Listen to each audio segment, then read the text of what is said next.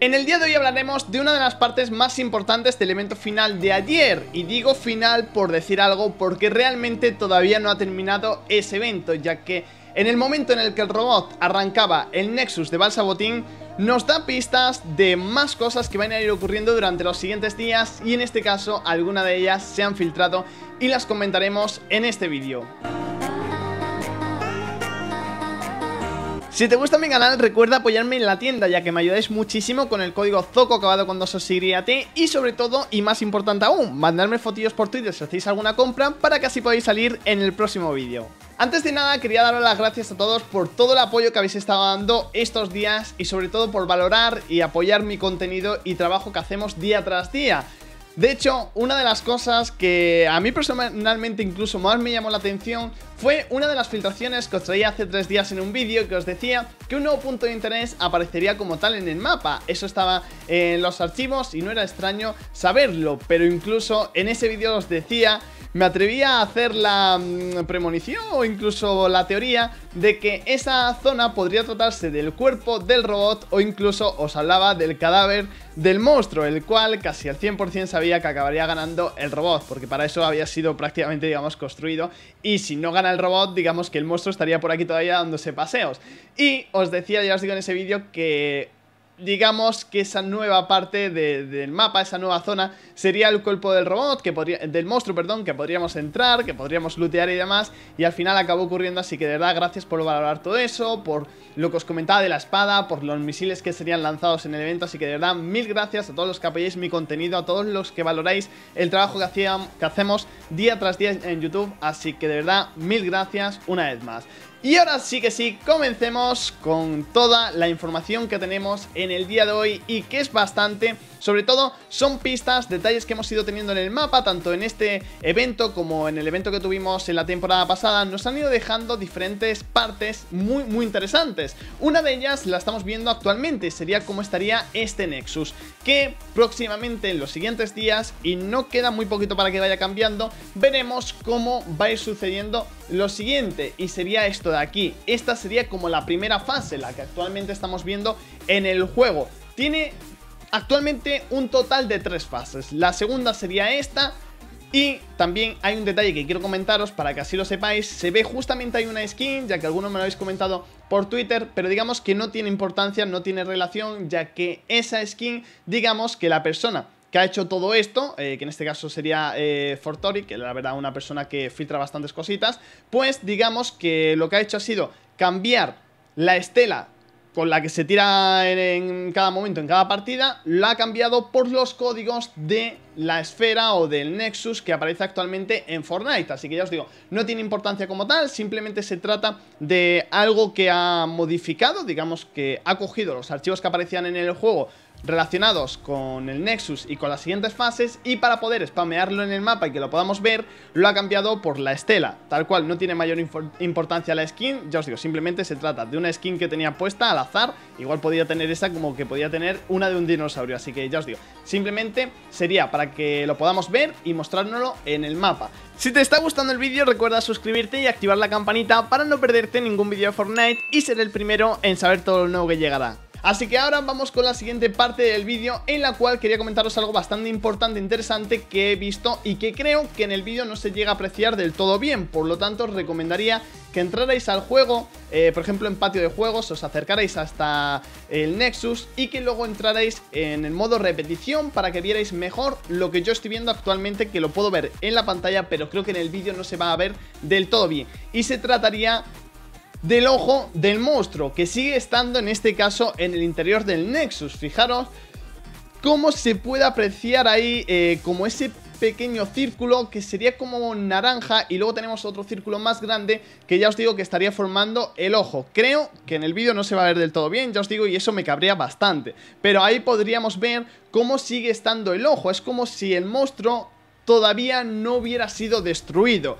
Y ahora más adelante me explicaré el por qué pienso eso, aunque estemos viendo ahí el cadáver, ahora me explicaré lo que creo que podría llegar a ocurrir.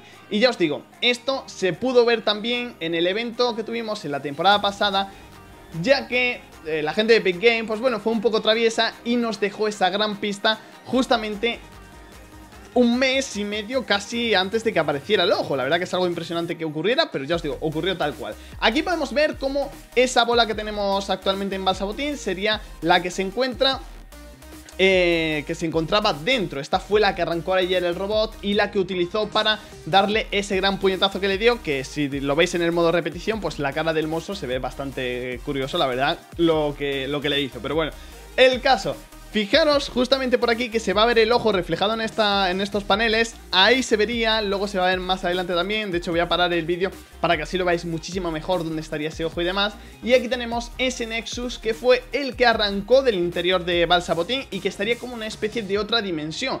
Y que trataré de explicaros lo que creo que puede significar este Nexus y lo que podría llegar a ocurrir en el mapa como tal. Ahora vamos a ver ese ojo que ya os digo justamente aquí, lo vamos a pausar el vídeo, lo vamos a ampliar incluso para que podáis ver mejor ese ojo y estaba, ya os digo, en la temporada pasada. Ahora mismo se puede ver lo mismo, se puede ver exactamente igual en la zona de, mm, de ya os digo, de Balsabotín, en ese Nexus se puede ver todavía ese ojo reflejado. ¿Qué significa exactamente ese ojo? Significa que otro monstruo va a volver, que el monstruo como tal va a regresar, realmente es complicado entenderlo, ya que ese ojo lo pudimos ver en la temporada 8 y en la temporada 9 pudimos ver cómo se trataba del ojo del monstruo, pero una vez que el monstruo ha sido destruido, ¿por qué sigue estando el ojo todavía? Es extraño y yo creo que esa teoría nos podría dar o significar lo siguiente. Os comento una teoría que se comenta y que trataré de explicaros dos partes lo que podría significar. Y se trata de justamente cuando el robot le clavó la espada al monstruo. En ese momento como que el tiempo se paró, se hizo más lento, se... digamos... Eh, sí, tal cual, se hizo más lento. Así que en ese momento, ya os digo, que fue cuando le clavó la espada, se comenta que puede ser como que justo en ese instante podamos volver atrás en el tiempo gracias al Nexus. Y podría, la verdad, cambiar la historia. Podría significar que el monstruo esquivara la espada y que acabara derrotando eh, al robot. Podría ser algo impresionante si eso llega a ocurrir. Pensad que si el monstruo, ya os comentaba al principio, hubiera ganado, el monstruo actualmente seguiría dando vueltas y vueltas por el mapa y sería imposible jugar las partidas. Por lo tanto, eso no podría ocurrir. Pero sí que podría ocurrir como que volviésemos, ya os digo, atrás en el tiempo. De alguna manera con este, con este Nexus, de hecho, una pista que nos daban en la temporada pasada es que pudimos votar un arma que regresada del pasado, del pasado y volviese a estar actualmente en el presente. Así que esto podría ser como un cambio que volviésemos atrás o adelante en el tiempo y que todo eso podría cambiar como tal el mapa también. Así que veremos a ver si eso acaba ocurriendo o no. Otra de las cosas que yo creo que puede significar, ya os digo, el momento en el que el tiempo se hizo más lento, simplemente fue como para darle epicidad a ese momento, para hacer que fuera más espectacular y ya está, no tiene eh, más sentido diría yo. Así que al final veremos a ver qué acaba ocurriendo, pero ya os digo, creo que fue simplemente una toma para hacerla más bonita y más increíble el hecho de hacerlo más lento justo en el momento final y que justo le clavara la espada. Eso creo es lo que puede haber ocurrido. Por otro lado, tenemos una parte muy importante también y se trataría de las pisadas. Recordar que justamente cuando salió de Pico Polar dejó diferentes pisadas en el mapa, pero obviamente estaban eh, marcadas muy bien porque estaban en la nieve. Luego aquí tuvimos otra, que aquí ya es más complicado que se quede marcada la pisada, pero Ayer el evento me dejó un poquito frío, me encantó, me parece el mejor evento que ha habido hasta el momento, le pongo un 10, pero digamos, el hecho de que el monstruo fuese pisando todos estos sitios del mapa y que no quedara ni una simple huella, ni una simple pisada, tampoco del robot, me dejó bastante frío. Igual no la he visto yo todavía, pero igualmente ya os digo, caminó muchísimo y debería haber pisadas em, como zonas del mapa destruidas, más de, más de las que tenemos. Y algo muy importante por último es que ayer Donald Mustard puso en su, digamos, localización, de hecho actualmente la sigue teniendo, lo siguiente, el punto cero. Y esto podría significar que el Nexus nos podría llegar o llevar hasta como era el primer mapa o un mapa totalmente limpio para empezar uno desde cero. Ya os digo, podría significar que el Nexus explotara